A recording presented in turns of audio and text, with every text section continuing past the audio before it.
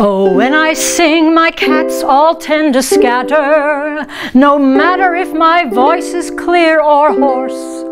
I always chase them screaming, what's the matter? I feed you, you should be my fans, of course. But no, contrariness is just their way, and my way is to ignore them when they beg for treats or ins or outs. To them I say, tough kitty, and don't scratch the sofa's leg. For two can play at this game to avoid if they won't lend their pointy little ears while I rehearse.